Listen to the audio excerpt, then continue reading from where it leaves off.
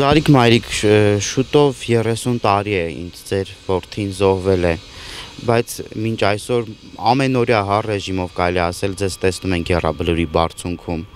Ցավը փոքրինչ մեղմվել է եւ առհասարակ որդեկորույս մոր ցավը երբևէ մեղմվում է։ Որդեկորուս ցավը երբևիցե չի մեղմվում։ 30 տարի, 40 տարի, 50 առավել եւս որ 90-ականներին մեր ворթիները թշնամու դիմաց հաղթանակ տարան, մեր սուրբ հողը ազատագրեցին եւ որպեսի հանձնեցին իրենց զավակներին, որ այսօր խաղաղ ապրեին, արարեին, ուժեղանային։ Ցավոք նորից ճշնամու ձերքը եւ կորցրեցինք մեր ворթիներին եւ կորցրեցինք մեր սուրբ հողը այն հողը, որ դարեր շարունակ հայը տենչել է, որ իր ժողովուրդը պետք է ապրի այդ հողի վրա։ Եթե մեղմը կլներ մեր ցավը, եթե նորից Եռաբլուր այս վիճակի, Եռաբլուրները ամբողջ Ղարաբաղ եւ Հայաստանում նորից մենք շիրիմներ չունենայինք եւ դրանց հետ միասին մեր հայրենիքի մի մասի կորուստը եւ վաղվա օրը նույնիսկ չգիտենք վաղվա օրը, բայց ես հույսով եմ որպես հաղթող դուշման Վարդանի մայր, որ մեր սերունդը նորից ոտքի է կանգնելու մեր պետությունը ուժեղանալու է նորից մեր տարածքները հետ ենք բերելու նոյեմբերի 10-ին երբ հայտարարությունը իմացաք, որ ինչ է մենք հադրուտ չունենք, շուշի չունենք եւ ձեր ворթին այդ տարածքների վրա է աստորեն արյուն թափել, ինչ զգացողություն էր ձեզ մոտ? Ծանր, խելագար, դրա հետ միասին զոհերը, ոչինչ, ժամանակավոր եթե դա կորցրեցինք, մենք այսքան մեր հիասքանչ, մեր սուրպ, մեր, մեր լավագույն հայրենասեր որդիներին չպետք է կորցնեինք։ Որդիս մասակցել է 88-ին ամտել Արցախյան հողը եւ աղվանական պատերազմից եկել է հերոսացած կամավոր մեկնել Աղվանստան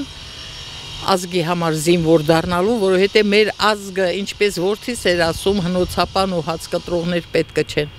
Մեր ազգին ուժեղ զինվորականներ են պետք, զինվորներ են պետք, հրամանատարական կազմ ունեինք, մեր զինվորները հաղթել են։ Նորից ու նորից մեր որդիները թող հայոց մայրերը հանգիստ մնան, որ իրենց որդիները հաղթել են, եւ այդ հաղթանակը ես հույսով եմ եթե մենք համախմբվենք, եթե հողի զգացմունքը զգանք, եթե այսուհետև հայոց մայրը դեռ իր արգանդում պետք է իր որդուն սնուցի, որ մենք ինչեր ենք կորցրել, մենք պետք է նորից հետ բերենք, մենք հայ ենք, մեր բնորանը այստեղ է, մենք նորից պետք է հաղթենք, մեր հաղթանակը կտեսնենք, ես չեմ տեսնին, բայց դուք կտեսնենք, ես համոզված եմ։ Մենք զավթողական պատերազմ երբեք չենք վարել։ Մենք մեր հողի տերն ենք։ Ինչու են ուզում մեր հողը, մեր ուղեղները, մեր հայազգը, դարեր ապրած, մեր հին ու աստվածապաշ քրիստոնյա ազգը այս մեր հողի վրա իրավունք չունեն ապրելու։ Կապրենք ու նորից կհաղթենք, հաղթելու ենք։ Իմ որդու ցանկությունը պետք է կատարվի։ Շուշին 88 թվականին է Արագաստում ասել, առաջինը մտնելու եմ Շուշի, Լաչինով տուն եմ գալու։ Որդիս եկավ։ Գլխավոր շտաբում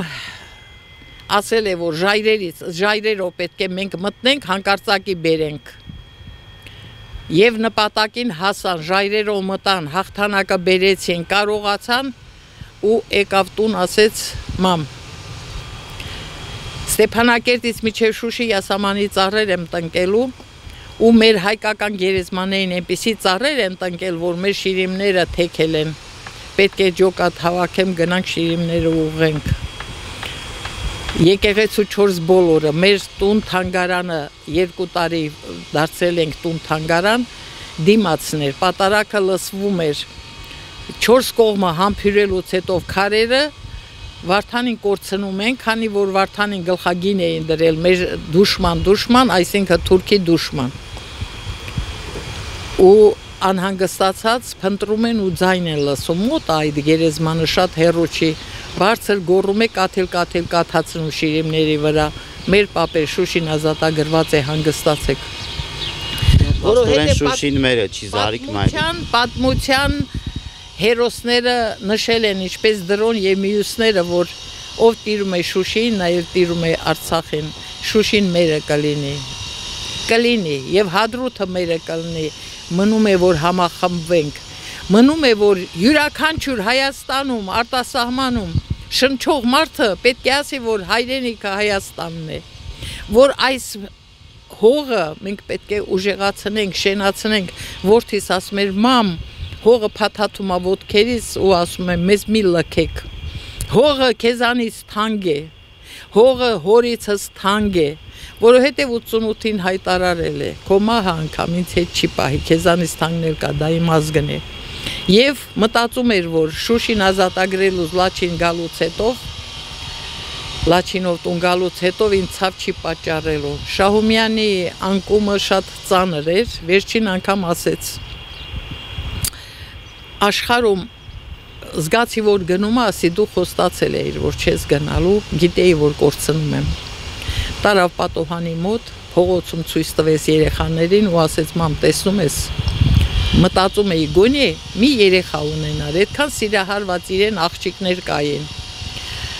Գոնե մի ժառանգ ունենար այսօրվա համար, այս հողի պաշտպանը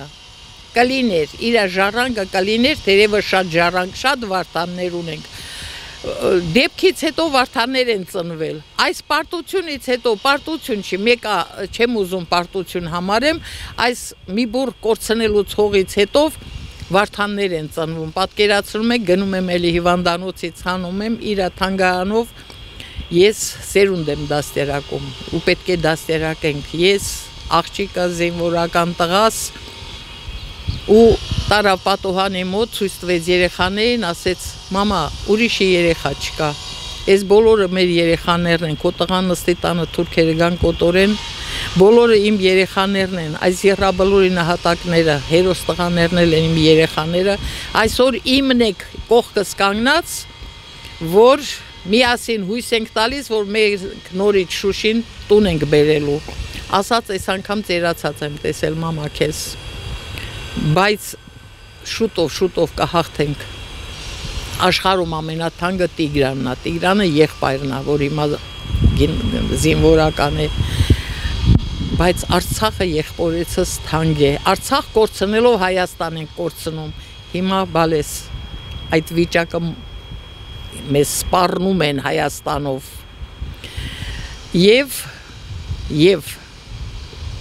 ճանապարհեցի այլևս որդուս երեսը չտեսա բայց հաղթած նախ միջ գնալը եկել էր ընկերների հետ փոքր եղբոր հետ ասել տեսնես իմ տեղը որտեղ է մամա Արցախի հաղթանակն եմ ուզում 2 մետր հող եմ ուզում։ Իր նպատակին հասավ։ Այսօր գալիս են, չոքում են, խնդրում,